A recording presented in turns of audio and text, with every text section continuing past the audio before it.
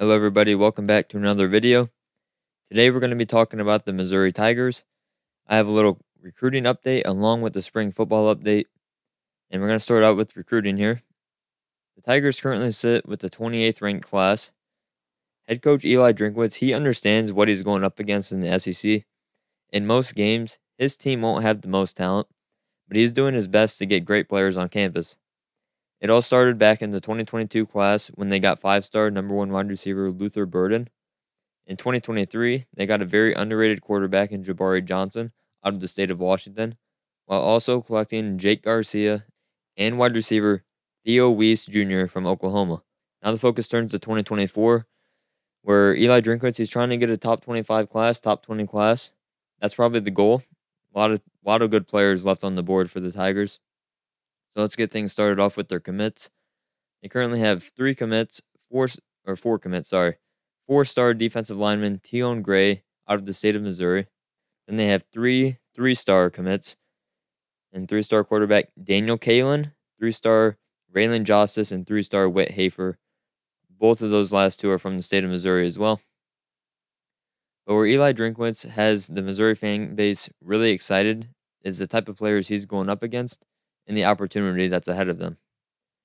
So some of their top targets, and both of these guys that I'm about to mention are just two of the best players in the country, regardless of position, and they both happen to be in the state of Missouri. Ryan Wingo, five star wide receiver out of St. Louis. Missouri is the hometown team in this recruitment, and they're among the top top contenders. Other teams include Tennessee, Notre Dame, Texas A&M, and Arkansas. He recently took a visit to Missouri, and it sounds like things went very well. I expect the Tigers to be in the recruitment until the very end. Now, what would this mean for Missouri?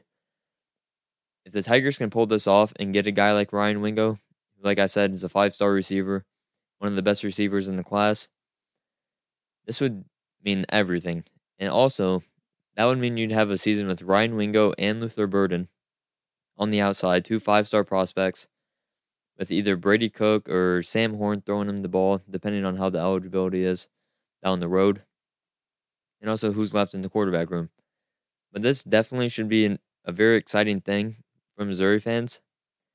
The fact that you have an opportunity to get a guy of this caliber while also pairing him up with a guy like Luther Burden if you're able to sign him.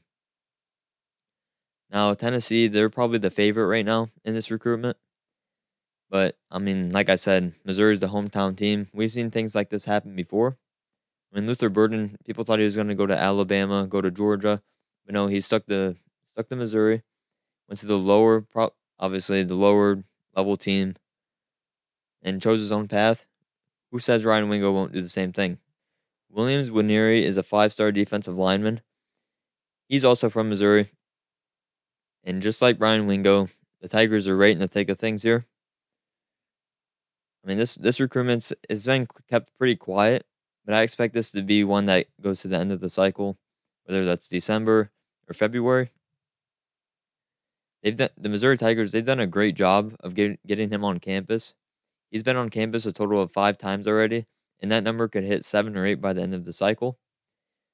The other top contenders include Oklahoma, who many think is the leader at this point in time. Todd Bates is over there leading the recruitment for the Sooners.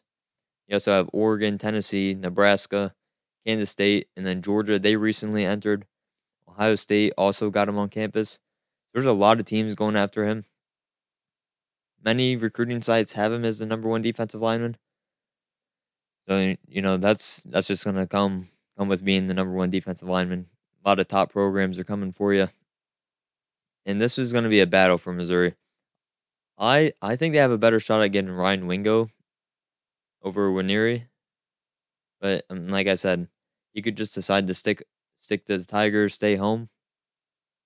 It's just going to be really hard to beat Oklahoma, beat Oregon, beat Tennessee, beat Nebraska, who recently got a strong push in this recruitment, getting him on campus, and then obviously Georgia and Ohio State coming up from behind.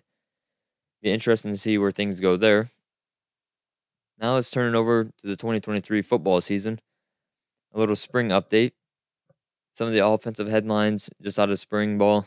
Receiver will probably be the strength of the, te- of the team. Luther Burden looks to be one of the best wide receivers in the SEC.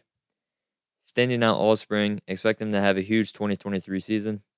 Theo Wease Jr., the Oklahoma transfer, could be a big part of this offense. Obviously, losing Dominic Lovett, it hurts a lot, but having Wease step in is very beneficial.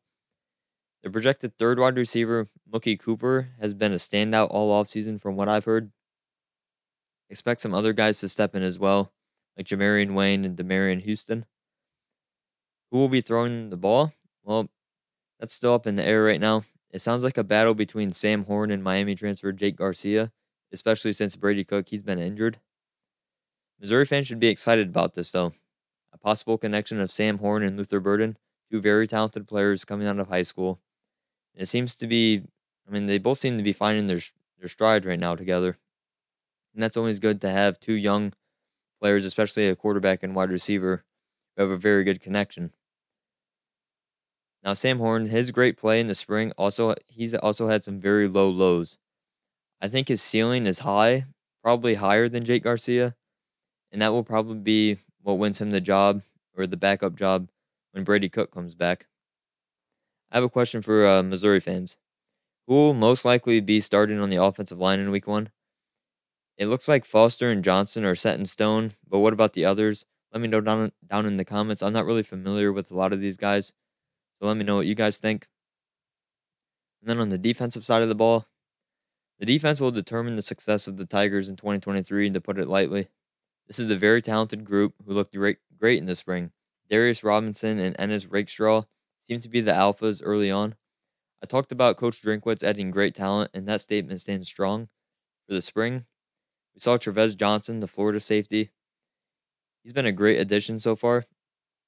I look to I look for him to have a big role this year, along with Tristan Newson, who had a, from what I heard in the spring game or like the spring scrimmage, he had a couple of very nice plays. Overall, from from Missouri, if the defense from spring ball is what we get in the fall, then the Tigers could have a very dominant unit in 2023. All right, that's going to do it for today's video, guys. On Missouri fans, be sure to comment down below your favorite player. And also leave a like, subscribe to the channel, and I'll catch you guys in the next video.